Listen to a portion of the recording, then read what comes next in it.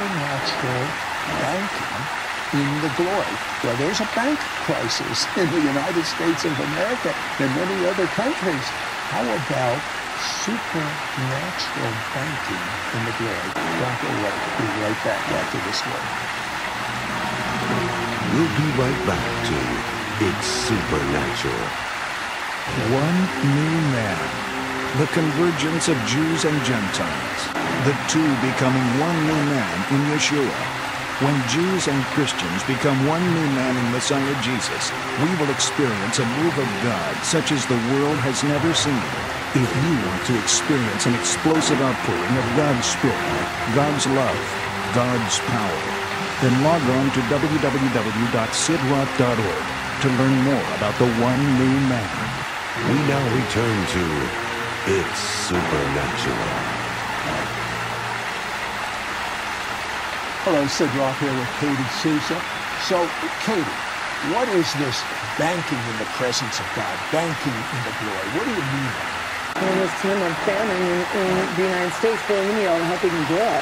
Sure. So we need tools in the natural and tools in the supernatural too. And there is creative power in the glory cloud so we can utilize that to begin to create finances and provisions for us. And I got a bunch of stories, so I'll just share them with you. oh, I, I love it. Tell me about this uh, $21,000 debt. You think you got problems. Tell me about that, Katie. Okay, so here we are, this fledgling ministry, and we've got, we've accrued $21,000 worth of debt.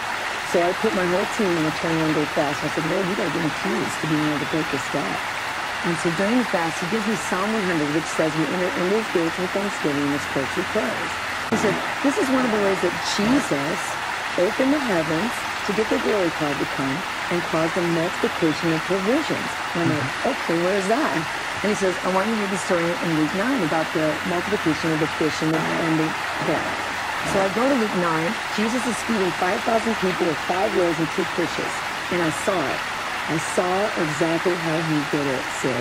It said that, quote, Jesus took the five loaves and two fishes and looking up to heaven, praised God and gave thanks. What's going on? Jesus knows, I gotta feed a bunch of people with this little bit. I need the power, the creative power the glory cloud. So that's why he first quote, looked up to heaven. He's looking for the open heaven to get the cloud to drop. And then next thing it says is then he's, he's praising God, gave thanks. What's he doing? He's doing a Psalm 100, entering into his gates with thanksgiving and his courts praise. There's gates in the heavens. You open, you can open them with thanksgiving, and then the glory cloud will fall, and our praise, God's presence and His glory will inhabit our praises. So He's looking up to heaven. He says, "Okay, now I need to get it open. I'm using my thanksgiving and praise." He gets it open. The cloud drops, and the next thing it says is this: Then He spoke. He spoke a blessing over the bread. What's He doing? He's doing what God did in Genesis 1 when God created the world. God had his glory cloud there and he spoke into the cloud. He said, let there be light. And there was light. Jesus gets the presence of the glory. He lifts the little bit of bread he has up into it and he speaks a blessing over the bread. It's literally commanding it to prosper or to multiply. And it does in the creative power of the cloud. Okay, that's well and good. That is Jesus. You learn these tools, if you will. Right. How does it play out with Katie, who's $21,000 in debt? Okay, so I see this revelation. I'm like, that's how he did it. I can do it too. So I did the exact same thing. You have a childlike faith, don't you? You do. Well, the Bible says I didn't believe it. And you also get revelation teaching. You're not like a normal teacher. You teach by revelation. Uh, uh, Jesus fast, you, you had, uh, I want to go back to the 21,000 because Jesus, uh, uh, you have a fast, you call it a Jesus fast. What is that?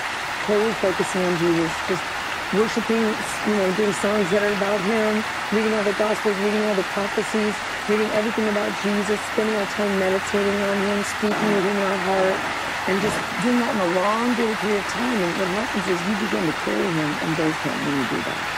Okay, 21,000. What do you So here I am. I see that. I see it. I was like, oh, that's how Jesus did it. Oh my gosh, I can do the same thing, right? So I began to do exactly what Jesus did. I had three thousand dollars to pay on my twenty-one thousand dollar debt. So I took that little bit of money, like Jesus took his little bit of bread and fish, and I began to do a Psalm 100. Enter into the gates of heaven with thanksgiving and his courts with praise. I just pressed and pressed and kept my focus and kept praising and thanking God. And when I felt the atmosphere change, I felt the burning in the glory. I felt like a heaviness on my shoulder. I knew the tangible presence of the glory was there, and I had creative power. So I lifted, I did what Jesus did. I lifted up my bread into the cloud, and I spoke into the cloud a, a blessing over it. I, I commanded it to multiply. Well, the day after the 21-day fast ended, we got a check for $21,000. Katie, as you're sharing this story, the atmosphere is changing. I believe that, I, I don't know what you want to do for those that are watching, but I believe that this atmosphere changing, you should move into this right now and oh, pray. It's not only to break your debt, because you can do that first. Then you can also cause finances to multiply for you. I, I took, I, I sent it up into heaven and got a, a diamond that my husband made. My husband had been out of business for nine months and we needed we needed financial income. I sent it up to heaven, got the a diamond, came back down, and God said, "Now command it to manifest in the glory." I did, and we got a two hundred and fifty thousand dollar miracle. You Now, can do the same thing. The, the diamond, though, was a, uh, it wasn't a real diamond. It, it was a, you saw it in the spirit. I saw it in the spirit, and God says, I said, what is that? He goes, it represents what I have for you in the glory. And then you prayed for it to manifest as in heaven on earth. And how much money came in? Quarter of a million dollars. It's now a lot of people are having difficulty believing this, but the truth of the matter is, you have found a supernatural key.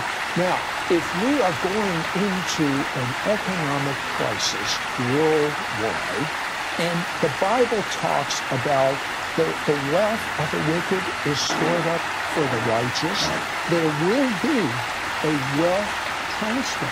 I believe that God has given you a key towards the wealth transfer. Yes, and once you learn how to cultivate the glory and speak into a cloud, then you can use this all the time for any situation to break debt, to cause an increase of financial income. It, it's once you have the tool, you can use the tool over and over again. We've had so many financial miracles: hundred thousand dollars, thirty-two thousand dollars. All right, very briefly, give us a jump start on how we can ascend up into heaven and get our answers to our prayers and bring them back to earth, just like the angels did for Jacob. Well, use your faith. Use your faith. It says that by faith that Enoch was transcended into heaven without Pray that for us. Okay. Right now, I just want to break off anything that's on you that would hinder you from believing that you have the legal right to ascend into heaven and get everything you need to cause your promises to come to pass.